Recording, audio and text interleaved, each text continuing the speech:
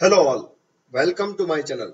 In this video, I will show you how to develop the PLSQL procedure to get the information about the employee based on the given employee number.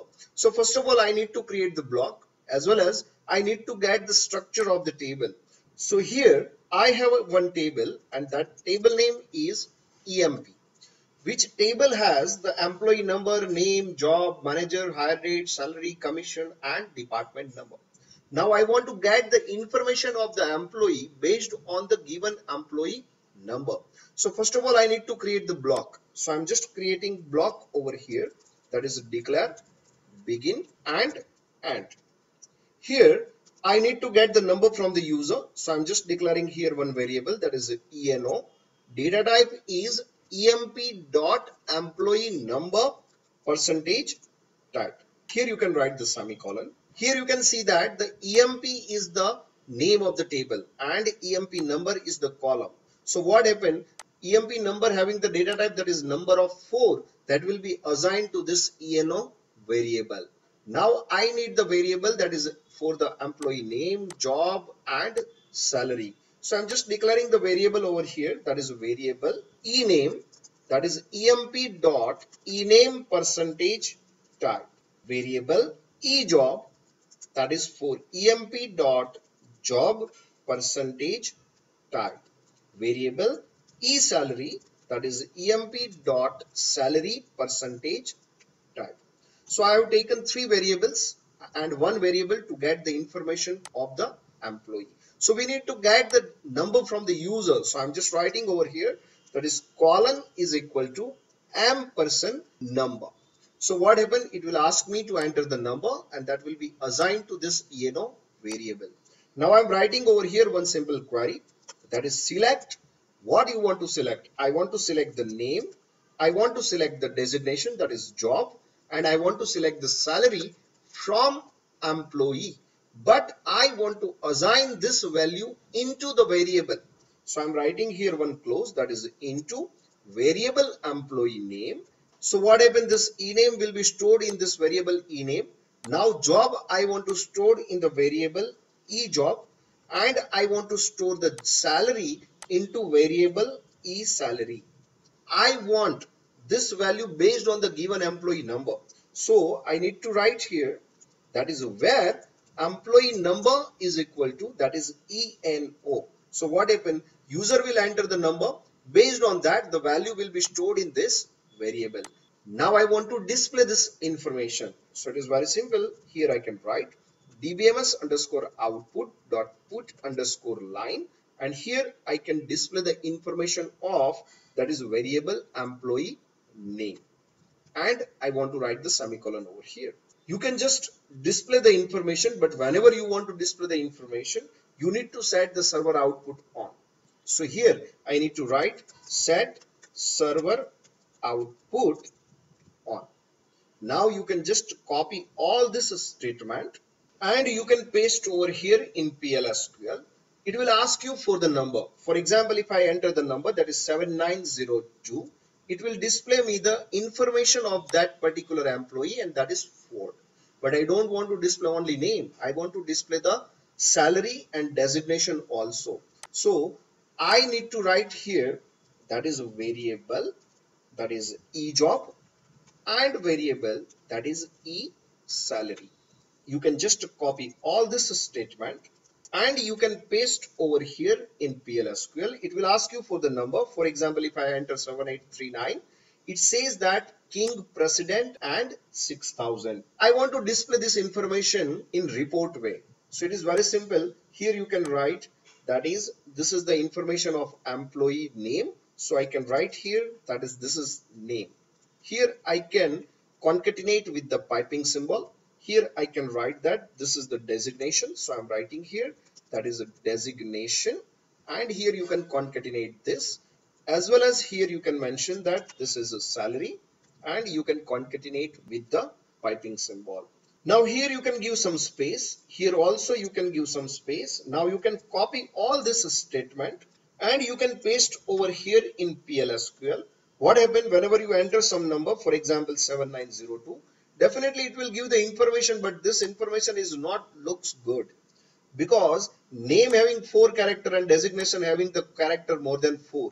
So it is not look like a good report. So if you want to give some good report then you can use the function like lpad and rpad so i'm using here one function that is rpad so i'm writing over here that is rpad so what happened? Right side padding will be done of 15 characters so exactly 15 space will be there will be allocated to this name text as well as the same length will be given to this designation. So I'm writing here that is 15 as well as same length I want to provide here for the salary. So I'm writing over here that is for 15. And now after that I want to display a colon. So I'm writing here colon and here you can concatenate with the piping symbol.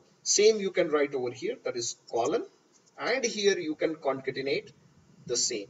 Now same I want to write over here that is colon and here you can concatenate with the piping symbol. Once it is done you can copy this and you can paste over here in PLSQL. Now you can enter the number for example 7839. The, it will looks like a report that is a name that is king designation president and salary 6000. I want to draw a line over here. So whenever you want to draw a line you can use the function that is lpad. So for example, I'm writing here dbms underscore output dot put underscore line. I'm writing here lpad. I want to replace the star that is 80 times with the dash. So what happened? One star will be displayed and rest 79 times it will display the dash. So here you can just copy this and here you can paste over here in PLSQL. Suppose if you enter the number that is 7839 it will display here dash 79 times and star one time.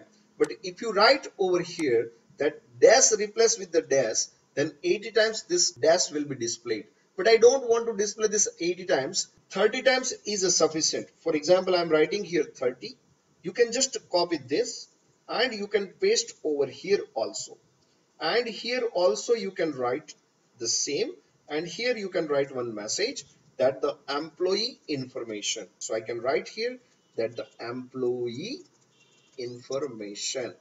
You can just copy all this statement and you can paste over here in PLSQL. Now you can enter the number, for example, 7839. It will display the message that employee information and this is the information about the employee. That is name is King, president and salary is 6000. Not only this, if you enter the another number for example 7902 then it will give the information of Ford who has the designation analyst and the salary is 3000 but there is one issue over here. For example if you enter the number which is not available in the table for example if I enter triple one so this number is not available in the table. So it will generate an error and the error is no data found so how to deal with this error very simple you can write here the exception block. So here you can write that exception. And here you can mention when no data found. It means that if the record is not found in this select query, then what you want to do? At that time, I want to give some simple message that the record is not found. So you can just copy these three lines and you can paste over here. Now here you can just write the message that record not found. So I'm writing here that is record not found. You can just copy all this statement and you can paste over here in PLSQL. Now what happened? It is asking me for the number.